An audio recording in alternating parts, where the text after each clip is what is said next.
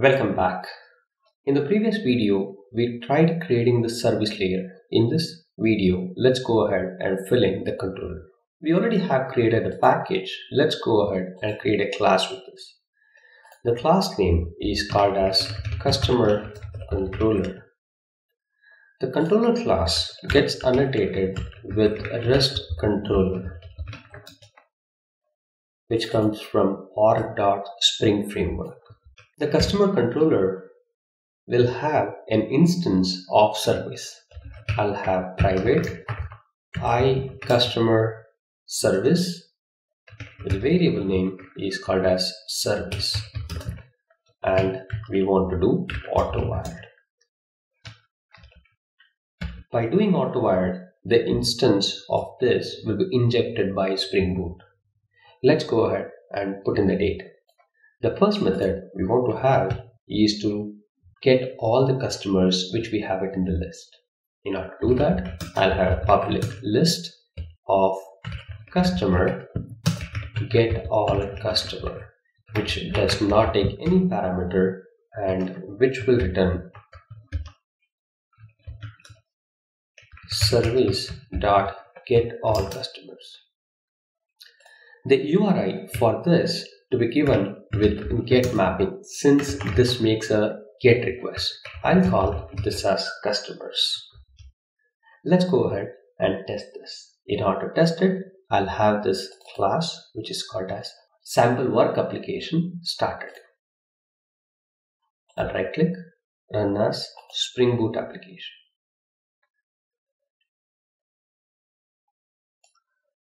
Let's have a look at the logs. The Tomcat is started and the port number to which it is listening is 9090. Let's go back. I'm trying to use Postman to make a request. I'll use a GET request since it's a GET mapping. I'll have this as http colon localhost colon 9090 customers. When I click on send, this guy should give you all the values which is there in our list with id 1, 2, 3. All good.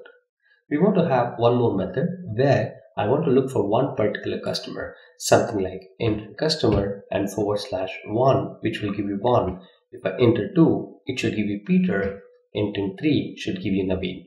Let's go ahead and fill in this. The next method is getting one particular customer. I'll have public customer get customer, which will take a long ID of customer ID which returns service dot get customer which takes a long id look at this it's so simple.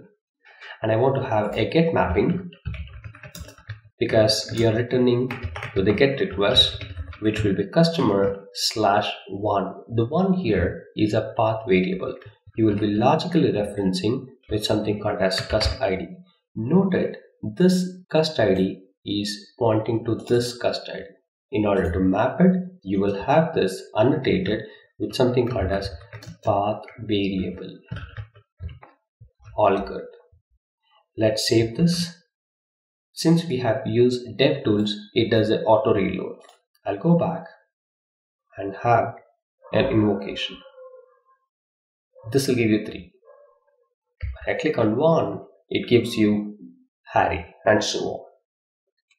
The next method in our list is to delete a record.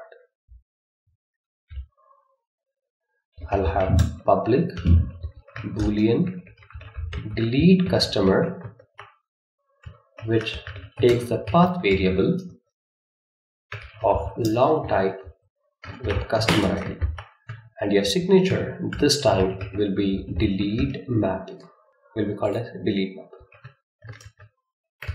which is customer slash cust id. I want to return service dot delete customer with the customer ID which you have got. Right? Let's go back and test this. I'll get all with something called customers. I'll have one, two, three let's try deleting. I'll go ahead and say forward slash one. This is delete. That's a kind of request which you want to generate. I'll say send. This returns you true. Let's go ahead and check if this record is found. I want to see all the customers. I don't have the first record, customer ID 1, who was Harry. The next method in our list is to save the customer. I'll have public customer save customer which gives the customer object itself customer I want to return service dot add customer and this time this mapping is called as post mapping which will be customer. And this is not a path variable. This will have a body associated which is request body. All good. It should make when you make a post call when you send a customer object this should save let's go ahead and test this. I'll take one of the sample objects. I'll copy this go back go to post here in the body section here i would like to paste the value i'll make some changes I don't even have to pass customer ID because it gets auto incremented. I would like to say somebody as content. I'll have the value as 8989 and let's hit on post. Oops, I'm sorry, that's gonna be customer here. I'll say send. Unfortunately, data doesn't come. Let's go ahead and fix this. There should be some problem. Here, in our service tier, instead of returning the PERT, we have to return the customer. This should be fine. Let's go back and check if it all goes well. I'll make a post request again and click on send. Here you go. You got next record which is called 4 which is content. Do remember the next time when you restart your server the data card 4 with content as a name will be deleted because we have kept just in a variable of static type. The last method in our list is to update the customer. I'll use public customer which is a return value update customer which takes a request body customer customer. I want to return service dot update the customer object which is got from the end user. This time it will be a put mapping which is customer which will update the object. Let's go ahead and test this. I'll go back do a get request on the customers so that all records are got here then I'll take one of the record which is one which is Harry I'll make a request to put.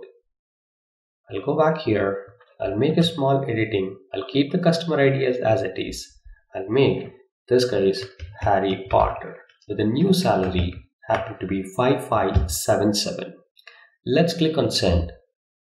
Here I have Harry Potter with ID 5577.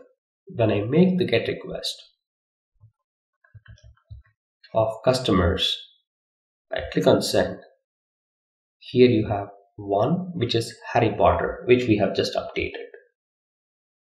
So with this we have done our CRUD operations with Spring Boot where we have clean package structure for contracts, controller, model, service.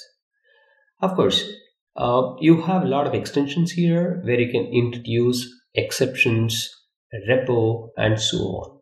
Thank you for watching this video. See you in the next lecture.